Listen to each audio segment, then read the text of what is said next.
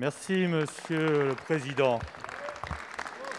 Monsieur le Premier ministre, à l'approche des fêtes, l'heure n'est pas encore à la fête en France. De Marseille à Strasbourg, en passant par le Calvados, les Français ont soif de liberté et ne demandent qu'à se retrouver.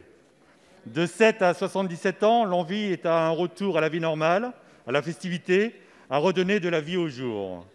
La France s'ennuie, comme le montre la multiplication des soirées clandestines, organisées avec une insouciance certes compréhensible, mais pas tolérable, et une inconscience qui mènera à des clusters. Ces fêtes interdites, hors de contrôle, balayeront d'un revers de main tous nos efforts collectifs pour juguler l'épidémie, tout comme ce fut le cas l'été dernier malgré nos alertes. Nous en subissons encore les conséquences aujourd'hui. L'heure n'est pas encore à la fête en France. Et pourtant, les salles privées et loueurs de matériel sonore croulent sous les demandes de tous les week-ends et surtout pour le 31 décembre. Ces demandes sont faites par des organisateurs qui ne sont pas des rebelles en quête de liberté, mais des irresponsables pour qui l'appât du gain constitue le seul idéal et qui retardent notre libération à tous. Parallèlement, la colère monte chez les Français qui se privent et chez les professionnels qui savent encadrer la fête, toujours interdits de travailler. Leur amertume est totale devant tant de déni, car si l'interdiction est la règle, elle doit l'être pour tous. Ils ne comprennent pas que la clandestinité devienne la norme ou notre manque d'anticipation, ni que les matériels sonores ne soient pas saisis et qu'il n'y ait pas plus de sanctions. Il y a urgence à prévenir, à responsabiliser, à interdire, à contrôler, à sanctionner, à être dans l'anticipation et non dans la réaction et cesser d'être spectateur. L'heure n'est pas à la fête aujourd'hui, mais elle doit l'être en 2021. Et si nous voulons qu'elle soit belle, il faut nous l'interdire aujourd'hui. Dès lors, monsieur le Premier ministre, quelles sont les mesures envisagées? Merci, monsieur le député. La parole est à madame euh, Brigitte Bourguignon, ministre déléguée chargée de l'autonomie.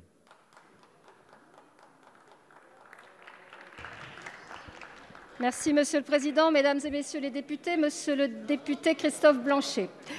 Je vous assure que si l'envie des lendemains chantants, voire dansants, est partagée largement par nos concitoyens, fût de 77 ans, et aussi transcendée sur ces bancs, elle est pleinement partagée aussi par le gouvernement.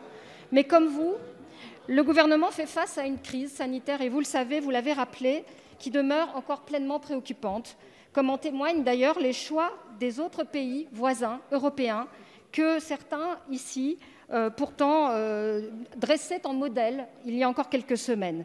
Les efforts qu'ont fait nos concitoyens payent, payent parce que nous sommes aujourd'hui dans une situation où les taux d'occupation des lits en réanimation par des patients a bien chuté, bien sûr, grâce à ces efforts et à ces mesures. Nous sommes dans une situation parfois pourtant épidémique de plateau qui nous oblige à la prudence, vous l'avez rappelé. Nos concitoyens ont besoin de se retrouver.